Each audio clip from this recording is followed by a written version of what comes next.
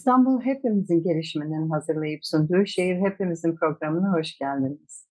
Bugün konuğum İsviçreli psikiyatr, kaşif ve iklim aktivisti Bertrand Picard. Monsieur Picard programımıza hoş geldiniz. Avec plaisir. Monsieur Picard'la sohbetimize başlamadan önce size ailesini tanıtmak isterim.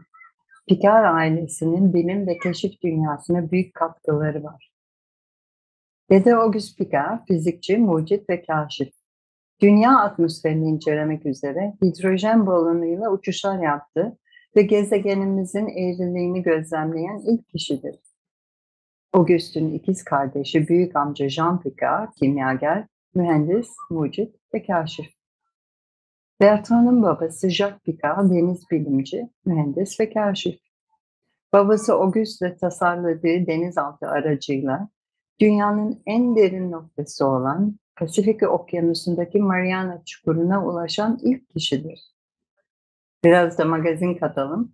Uzay Yolu dizisinin yaratıcısı Gene Roddenberry, Picard ailesinin bilim ve keşif dünyasına katkılarından dolayı bu aileyi onore etmek için kaptanı Jean-Luc Picard ismini vermiştir. Monsieur Picard, sıcak hava balonuyla dünyanın çevresini kesintisiz dolaşan ilk kişi sizsiniz. Bunun sonrasında da güneş enerjisiyle dünya çevresini dolaşan ilk uçuşu gerçekleştirdiniz. Merak ediyorum sizin pilot eğitiminiz olmamasına rağmen sıcak hava balonundan sonra güneş enerjisiyle çalışan uçakla dünyayı dolaşma fikri nasıl gelişti? Breitling Orbiter 3 balonu ile dünyayı hiç durmadan dolaşmak benim kişisel hayalimdi. Dedem gibi, babam gibi çocukken tanıştığım öncüler gibi bir kaşif olmak istedim. İlk iki girişim başarısızlıkla sonuçlandı ama pes etmedik ve üçüncü girişimde başarıyı yakaladım. Balon uçuşa başladığında 3.7 ton likit gaz taşıyordu. 45.755 kilometrelik uçuşu tamamlayıp 21 Mart günü Mısır çölüne indiğimde depoda sadece 40 kilo likit gaz kalmıştı. Yani uçuşu ucu ucuna bitirmiştim. Bu uçuşu başarmak için tonlarca yakıt taşımak zorunda kalmıştım. Ve yakıtım bitseydi uçuşu bitiremeyecektim. İşte o anda tamamen yakıta bağımlı olduğumu anladım. Ve daha fazlasını yapmak istiyorsam kendi yakıtımı uçarken üretmeliydim. Solar Impulse hayalim böyle başladı. Dünya çevresinde tamamen temiz, karbon emisyonları salmadan, yakıt taşıma zorunda olmadan güneş enerjisiyle uçmalıydım. Ama bu oldukça zor olacaktı. Çünkü ben uçak pilotu değildim. Baloncuydum. Pilot eğitimi almam gerekecekti. Ve zor bir uçakla uçacaktım. Çünkü daha önce denenmemiş bir teknolojiyle itici gücü güneş enerjisi olan bir uçak geliştirecektik. Andre Borschberg ile ortaklık kurduk. Andre hem pilot hem de mühendis ve uçağın yapımından o sorumluydu. Projenin diğer ortaklarını ve finansmanını bulmak ve ekibi kurmak benim sorumluluğumdaydı. Bu projeyi geliştirirken asıl amacım temiz teknolojiler ve yenilenebilir enerjilerle imkansız şeyleri başarabileceğimizi kanıtlamaktı. Tanrı'ya şükür bunu başardık. Bu hayalinizin gerçekleşmesi ne kadar zaman aldı? 15 yıl sürdü. Ve bu süre içinde hayallerin kendiliğinden gerçekleşmediğini, çok çalışmak gerektiğini öğrendim. Projeyi gerçekleştirmek için bizim sıfırdan başlamamız gerekiyordu. Uçağı kendimiz tasarlayacak, kendimiz yapacaktık. Çünkü hiçbir uçak üreticisi uçağı yapmayı kabul etmedi. Sadece güneş enerjisiyle gece gündüz uçmanın imkansız olduğuna inanıyorlardı. Güneşten gelen enerjiyle uçağın gece gündüz uçması için enerji verimliliğini maksimize etmemiz gerekiyordu. Bu nedenle uçağın kanat açıklığı çok büyük olmasına rağmen uçağın kendisi çok hafif olmalıydı. Karşılaştırmak amacıyla belirttim. Solar Impulse'ın kanat açıklığı 72 metre. Dünyanın en büyük uçağı olan Airbus 380'in kanat açıklığı 80 metre. Ama Solar Impulse 2,5 ton ağırlığında, Airbus 380 ise 560 ton ağırlığında. Dediğim gibi sıfırdan başlamak zorundaydık. Ekip oluşturulacak ve hangar edinilecekti. Yeni teknolojiler konusunda bize yardımcı olacak alt yükleniciler ve startupları ayarlamak gerekiyordu. Bu nedenle uçağı inşa etmek uzun yıllar aldı. 6 veya 7 yıl sonra ilk prototipimiz hazırdı. Sonra dünyaya dolaşacak olan uçağı Solar Impulse'ı inşa ettik. Yani hep birlikte 15 yıllık sıkı bir çalışma gerçekleştirdik. Aynı zamanda çok şey öğrendik. Çok deneyim edindik. Tabii ki kolay olsaydı birileri bunu daha önce yapardı. Solar Impulse'ın ilk uçuşunu pilot Andrei Borschberg 9 Mart 2015'te Abu Dhabi'den Muscat'a yapılan uçuşla gerçekleştirdi. 700 kilometrelik uçuş 13 saat sürdü.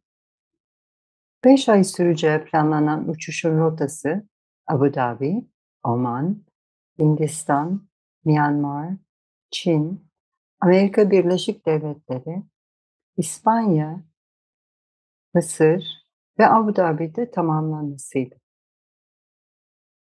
5 ay sürmesi planlanan devre alem uçuşu 17 ay sürdü.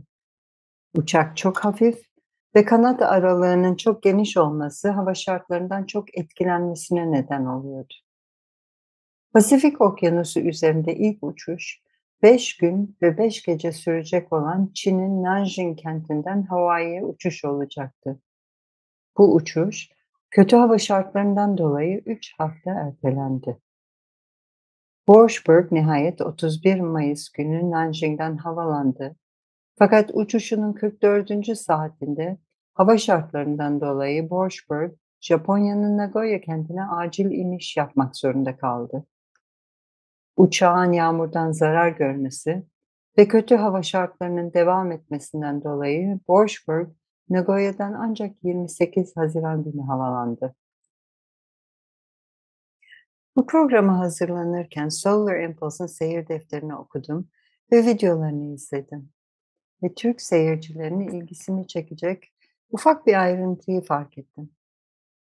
Borschberg bu en uzun ve en tehlikeli uçuşu yapmak üzere Nagoya'dan havalanırken Türk olan eşi Yasemin Hanım'ın elindeki su şişesiyle eşinin ardından su dökmesi bir anda bu teknoloji yoğun girişimin bir de insani tarafı olduğunu ailelerin endişelerini açığa vurdu.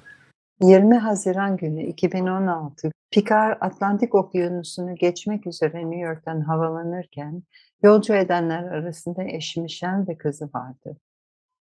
Picard üç gün sonra Sevilla'ya indi. Borschberg'in Solar Impulse uçağıyla son uçuşu 11 Temmuz'da Sevilla'da başlayıp 13 Temmuz'da Kahire'de bitti. Borschberg Solar Impulse için o artık benim için bir uçak değil bir dost demişti. Borschberg'in 9 Mart 2015'te Abu Dhabi'den havalanışıyla başlayan macera 17 ay ve 40 bin kilometre sonra Picard'ın 26 Temmuz 2016'da Abu Dhabi'ye yaptığı inişle tamamlandı. Solar Impulse'ın en uzun ve en zorlu uçuşu 5 gün ve 5 gece süren Japonya-Hawaii uçuşu oldu. Andrei Borschberg bunu hayatımın uçuşu olarak tanımladı. Bu süreç sizi, özellikle de ekibi bir hayli zorlamış. Nagoya Hawaii uçuşu Solar Impulse uçağının ve güneş havacılığının ilk aralıksız gece gündüz süren uçuşuydu. Bizim amacımız da uçağın gece gündüz neredeyse sürekli uçabileceğini kanıtlamaktı. Evet, en uzun uçuşumuz Japonya Hawaii ayağıydı. Kaliforniya'dan New York'a uçuş, Atlantik Okyanusu'nu geçtiğimiz uçuş, bu uçuşların her biri ekip için ayrı ayrı birer maceraydı. Bu uçuşlar aynı zamanda ekip içinde ikilem yaşanmasına neden oldu. Uçuşun güvenliğinden sorumlu ekip kaza olmaması için çok dikkatli olmaktan, mümkün olduğu kadar az risk almaktan yanaydı. Tabii Andre ve ben kaşifiz ve başarılı olmak için bazı riskler almamız gerektiğini biliyorduk. Bu nedenle ekibin içinde ara sıra anlaşmazlıklar oluyordu. Bu özellikle Japonya havai uçuşunda patlak verdi. Ekip bir kaza olmasından korkuyordu. Ama biz hem ekibi hem uçağı zorladık.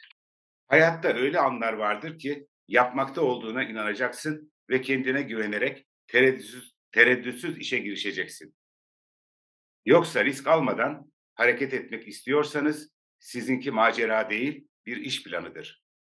Ve daha önce hiç yapılmamış bir şeyi bir ilki başarmak istiyorsanız bunu iş planıyla yapamazsınız. Bu yüzden risk aldık.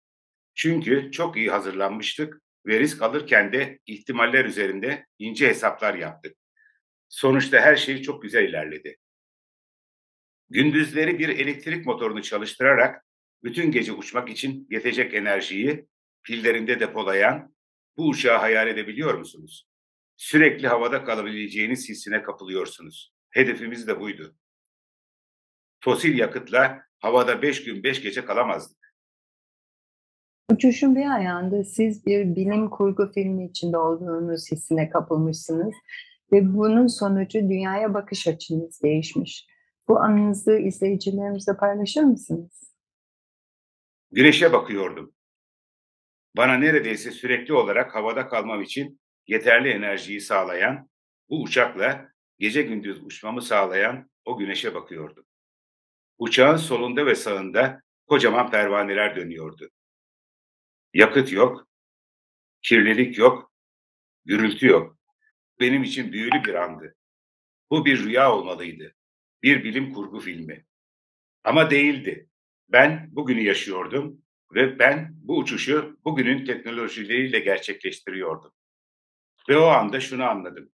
Madem ben gelecekte değildim, o halde insanlık geçmişte kalmıştı. Verimliliği yüzde 27 olan içten yanmalı motorlar kullanıyoruz. Yani yakıt deposundaki enerjinin yüzde 75'ini boşa yapıyoruz. Ama benim uçağımın elektrik motorları yüzde 97 verimlilikle çalışıyordu. Kötü izolasyonlu binalar, verimsiz ısıtma, verimsiz soğutma, verimsiz aydınlatma sistemleri, kirli fosil yakıtlarının kullanıldığı eski endüstriler. Bunların hepsi geçmişte yaşadığımızın kanıtı. Bununla gurur duyamayız. Modern olduklarına inandırmak için akıllı telefonlarını göstere göstere kullanan insanlar var. Ama kullandığımız diğer her şey petrol çağının başlangıcından yani 120 yıl öncesinden geliyordu. Doğal kaynakların tükenmesi, biyolojik çeşitliliğin kaybı, iklim değişikliği. Bu sorunların hepsi modası geçmiş, verimsiz teknolojileri kullanmamızdan kaynaklanıyor. Örneğin dünyada üretilen enerjinin %75'ini verimsizlik nedeniyle boşa harcıyoruz. Bu durumu değiştirmeliyiz. Dünyamızı, altyapımızı modernize etmemiz gerekiyor. Enerji kaynaklarımızı modernize etmemiz gerekiyor. Kullandığımız inşaat malzemeleri ve teknolojileri modernize etmemiz gerekiyor. Bu da bize dünyanın en büyük fırsatını sunuyor. Bu sayede istihdam yaratacağız. Ekonomiyi ve sanayiyi geliştireceğiz. Aynı zamanda insanın çevre üzerindeki etkisini azaltacağız. Bu gerçekten harika bir fırsat. Ve benim Solar Impulse Vakfı ile vermek istediğim mesaj bu. Yaşam tarzımızı modernleştirmenin yanı sıra e, düşünce tarzımızda da bir inovasyona ihtiyaç olduğunu vurguluyorsunuz. Çevre koruma ve iklim krizi konusundaki anlatıyı değiştirmemiz gerektiğinin altını çiziyorsunuz. Bu anlatıyı değiştirme fikri sizin psikiyatri olmanızdan mı kaynaklanıyor? Evet, kesinlikle. Ben sadece bir psikiyatrist değil, aynı zamanda bir kaşifim. İnsanları bir konuda motive etmek istiyorsanız onların dilini konuşmanız gerektiğini öğrendim. Bir şirkette üst düzey bir yöneticiye, bir başbakana veya bir ülkenin başkanına gitsem ve çevreyi korumak zorundayız. Endüstri sektörünü küçültmeliyiz. Ulaşımı sınırlamalıyız. İnsanlar yaşam tarzlarını değiştirmeli diyecek olsam beni kimse dinlemez. Ama ben sizin amacınız istihdam yaratmak ve ekonomiyi geliştirmek ve size bunu daha iyi yapmanın, daha fazla iş yaratmanın, ekonomiyi geliştirmenin ve aynı zamanda çevreyi korumanın bir yolunu gösteriyorum dersem insanlar beni kollarını açarak karşılayacaklar. Tam da ihtiyacımız olanın bu olduğunu söyleyecekler. Bu karşındakine uyum sağlamak ve ilham verici bir anlatıya sahip olmanın bir yolu. 50 yıldır tekrarladığımız anlatı, çevreyi korumanın çok pahalı, sıkıcı ve fedakarlık gerektiren bir yol olduğu anlatısı işe yaramıyor. Durum 50 yıl öncesinden bile daha kötü. Çevreyi korumanın karlı olduğu bir anlatıya ihtiyacımız var. Ben de bunun üzerinde çalışıyorum. Solar Impulse Vakfı konusuna geçmeden önce size özel bir soru sormak istiyorum. Geriye dönüp baktığınızda bu uçuşun sizin üzerinizde bıraktığı en derin etki nedir? İki ayrı açıdan ele almalıyım. Uçuş hazırlığı beni çok etkiledi. Daha sabırlı, daha sebatlı, daha dirençli biri oldum. Çünkü bu zor bir süreçti. Gerçekten çok zordu. Başarısızlıkla defalarca burun buruna geldik. Uçak çok kırılgan olduğundan yapımı çok zordu. Prototipi geliştirmek için çok para harcadığımızdan defalarca iflasın eşiğine geldik. Uçuş süresince beni en çok etkileyen faydalı olma duygusuydu. Solar Impulse uçmadan önce kimse elektrikli uçaklara inanmıyordu. Bunun olabileceğini kanıtlayarak insanlara ilham vermek, dünyaya faydalı olmak benim için çok önemliydi. Ve şimdi herkes elektrikli uçak programları üzerinde çalışıyor.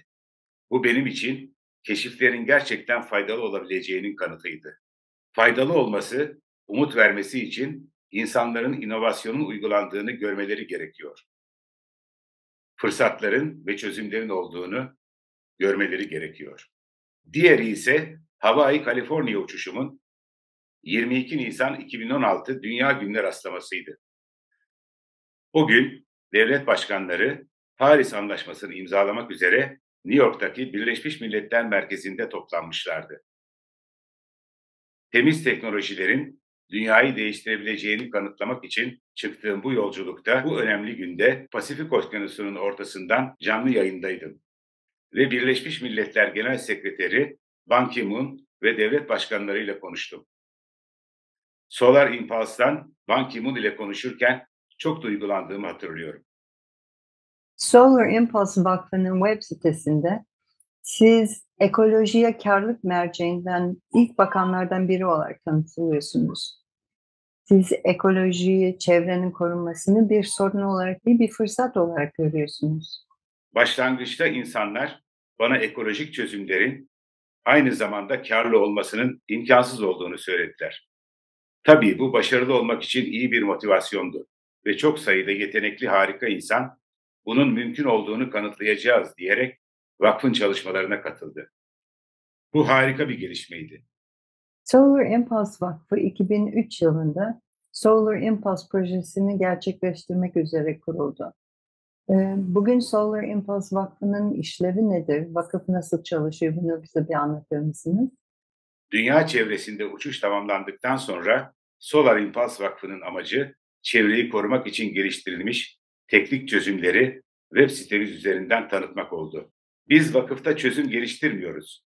Çözümler dünyanın her yerinden risk sermayedarları, kuluçka merkezleri, inovasyon departmanları tarafından geliştiriliyor. Ve bunlar ekolojiyi korumanın yanı sıra ekonomik olarak da karlı çözümler. Geçen yıl dünyanın her yerinden uygulamaya hazır bin tane çözüm belirledik. Ve bugün bu sayı 1400'e çıktı. Bu yeni teknolojiler ürün, malzeme, cihazlar, enerji kaynaklarını içeriyor. Ve bunların hepsi bugün uygulamaya hazır.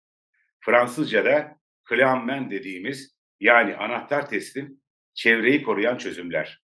Solar Impulse Vakfı'nda 400 uzmanımız var. Ve onların görevi bu uygulamaya hazır olan yeni teknolojileri değerlendirmek. Çözümleri inceliyoruz ve kriterlerimize uygun olanlara Solar Impulse verimli çözüm etiketi veriyoruz. Ve bunları web sitemizden tanıtıyoruz.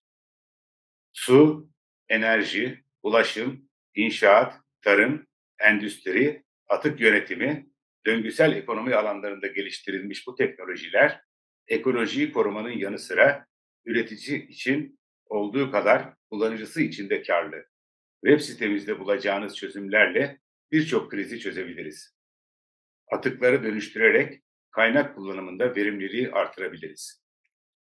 Örneğin bugün dünya gıda kriziyle, enerji kriziyle karşı karşıya ve bu konularda örneğin tarım konusunda çok sayıda çözümümüz var. Şimdi vakfın web sitesinde bulunan 1400 çözümü hükümetlere, bölgelere, şehirlere, büyük şirketlere tanıtmak için uğraşıyoruz. Tabii yeni çözümler toplamaya ve bunları etiketlemeye devam ediyoruz. Eğer Türk mucitlerin programımıza uyacak ilginç çözümleri varsa onları aramıza almaktan çok mutlu oluruz. Web sitenizdeki projelerin tanıtımını bedava sunuyorsunuz. E, hatta çözümleri inceledim ve bugün Türkiye'de tarımın karşılaştığı zorluklardan biri de tarlaları sulamanın e, maliyetinin çok yüksek olması. Web sitenizde tarla sulamak için güneş enerjisiyle çalışan su pompası var. Çözüm ilginç ama çiftçiler açısından bunun pahalı bir yatırım olacağını düşünüyorum. Çözümler dünyanın bir bölgesinde karlı olabilirken başka bir bölgesinde olmayabilir. Bu yüzden her ülke için bir çalışma yapmak zorundayız. Ama ortalama olarak suyu arıtarak, suyu geriş, dönüştürerek, suyu daha verimli pompalayarak sudan tasarruf edebileceğimizi görüyoruz. Bizim şunu anlamamız gerek. Verimsizlik ve israfın maliyeti çok yüksek. En son teknolojiler kullanıldığında verimlilik artıyor ve sadece ihtiyacımız olanı kullanıyoruz. Böylece harcamalar azalıyor ve teknolojiye yapılan yatırım amorti ediliyor. Burada kanıtlamak istediğim konu şu. Gayri safi yurt içi hasılayı üretim, tüketim ve atık miktarlarından ayırıp verimliliğe bağlayabiliriz. Verimliliğin artması demek hem üreticinin hem tüketicinin karının artması demek. Para konusu her zaman büyük bir sorun. Web sitenizdeki e, çözümleri de uygulamak için büyük yatırımlar gerek. Onu sağlamaksa büyük bir sorun. Bu konuda çalışmalarınız var mı? İki ayrı girişimimiz var. Bunlardan ilki Pariba ve Rothschild ile oluşturduğumuz yatırım fonları. En umut verici çözümlere yatırım yapmak gerek. Büyümeleri için, pazara erişimlerini sağlamak için. Diğer girişimimiz kamu alımlarına odaklı. Bu konuda hükümetlerle, kamu kuruluşlarıyla çalışıyoruz. Ekolojik çözümlerin pahalı olduğu algısı var ve biz bu algıyı değiştirmek için çabalıyoruz. Bu çözümlere harcanan parayı maliyet olarak değil, yatırım olarak görmek gerek. Ekolojik ürünlerin kullanım ömrü boyunca sağladığı tasarrufla ön yatırımı amorti ettiğini gösteriyoruz. Yani özünde amacımız kamu alımlarına bu yeni yaklaşımı yerleştirmek. Şehir alım yaparken en ucuz olanı alma eğiliminde. Örneğin otobüs alımında dizel otobüsü tercih ediyor. Çünkü elektrikli otobüs daha pahalı. Ama dizel otobüsün ömür boyu maliyeti elektrikli otobüsten 400 bin dolar daha pahalı olacak. Bu nedenle yalnızca başlangıçta ödediğiniz tutarı değil, alım yaparken toplam sahip, sahip olma maliyetini de göz önünde bulundurmalısınız. Yani kamu ihale kurallarını değiştirmemiz gerekiyor. Bunun için hükümetler ve bankalarla birlikte çalışıyoruz. Bu önerdiğiniz çözümlerin uygulanması konusunda elinizde istatistik var mı? Veya e, ne tür geri bildirimler alıyorsunuz? Bireysel geri bildirim alıyoruz. Örneğin mucitler Solar Impulse Vakfı'ndan alınan etiketin yatırımcı bulmada etkili olduğunu bize anlatıyorlar. Tabii etiketimizin nerelerde etkili olduğunu görmek bizim için harika. Yeni çözümler arayanlar ile yeni çözümler sunanlar arasında bir pazar yeri oluşturuyoruz. Fransa'da kamu ve özel kurumların satın alma bölümlerinden 100 kişiyi mucitlerle tanıştırdık. Bizim görevimiz sorunu olan çözümü geliştirenle buluşturmak. Böyle bir girişimi Türkiye'de de gerçekleştirebiliriz. Şehirler konusunda da çalışma başlatmışsınız. Bu konuda ne gibi çalışmalarınız var, neler yapmayı planlıyorsunuz? Evet, yeni bir şehir girişimi başlatıyoruz ve şehirleri yakından ilgilendiren konulara odaklanacağız. C40 gibi, İKLE gibi kent birlikleriyle, büyük şehirlerin belediye başkanlarıyla bağlantılar kuruyorum. Hava kalitesi, ulaşım, karbondioksit içermeyen yapı malzemeleri, döngüsel ekonomi ve enerji verimliliği gibi şehirlere doğrudan uygulanabilecek çözümler seçip tanıtacağız. Biliyorsunuz 2050 yılında karbon nötr olma hedefini koyan pek çok belediye başkanı var.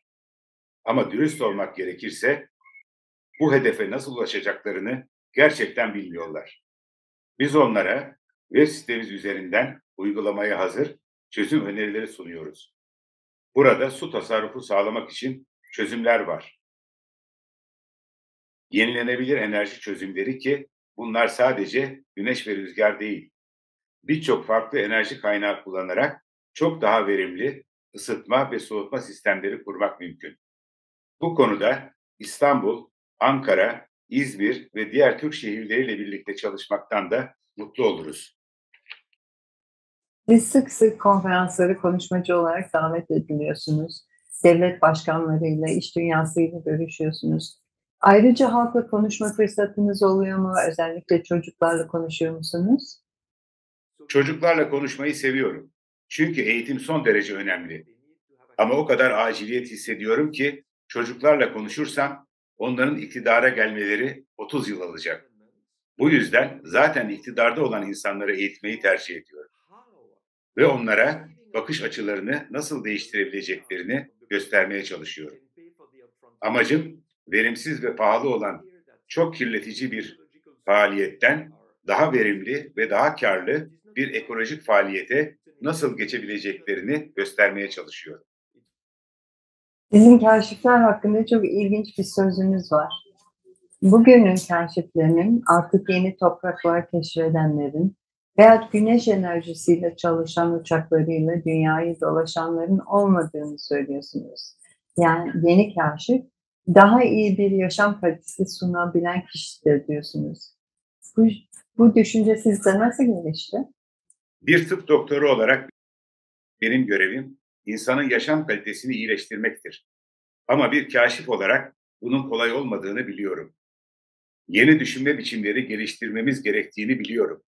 Paradigmayı değiştirmemiz gerekiyor. Yeni davranış biçimleri ve yeni düşünme biçimleri keşfetmemiz gerekiyor. Kaşif ve tıp doktoru deneyimlerini birleştirerek insanlığın bugün yapması gerektiğine gerçekten inandığım şey bu. Çünkü yaşam kalitesini iyileştirme imkanımız var. Yoksullukla mücadele edebilecek yeni ekonomik yol haritaları var. İnsanlara iş sağlayabilir, satın alma gücünü artırabiliriz.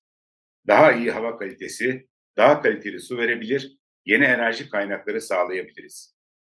Bilirsiniz, insanların iyi bir hayat sürmelerini hedef edinirsek temelde çok daha iyi yaşayabiliriz. Tüm çözümler burada. Yani gerçekten yapmamız gerekiyor. Yani biz çalışmalarımızla insanların iyi bir hayat sürmelerini kendimize hedef edinirsek hepimiz çok daha iyi yaşayabiliriz. Bu hedefe ulaşmamızı sağlayacak çözümler var. Bunları uygulamamız gerekiyor. Bunu gerçekten yapmamız gerekiyor. Programın sonuna geliyoruz. Ailenizde önemli bilim insanları ve kaşifleri var. Siz de bu geleneği devam ettiren maceracı bir insansınız. Ufukta sizin için sırada ne var merak ediyorum. İki şey var. İlki Solar Impulse Vakfı'nın web sitesindeki 1400 çözümün ve arkasından gelecek yeni çözümlerin uygulamaya geçmeleri için çalışmak. Bu çözümlerin günlük yaşantımıza girmelerini gerçekten istiyorum. Diğeri, üzerinde çalıştığım bir hayal. Güneş enerjisiyle çalışan hava gemisi. Yani Zeppelin. 150 metre uzunluğunda güneş panelleriyle dolu bu gemiyle dünyayı dolaşmak. Bu kocaman seyahat esnasında okullarda öğrencilerle konuşmak, üniversitelerde gençlerle konuşmak, hükümetlerle, büyük şirketlerle konuşmak.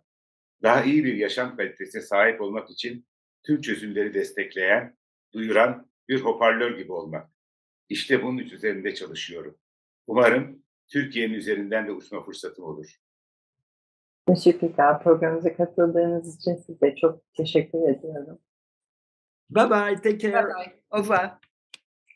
Bu çok önemli ve çok ilginç, heyecanlı uçuşla ilgili bilgi almak isterseniz, videoları izlemek isterseniz Solar Impulse'ın web sitesine bakmanızı öneriyorum. Ayrıca Solar Impulse web sitesinde 1400'ün üzerinde çevreci çözüme ulaşabilirsiniz.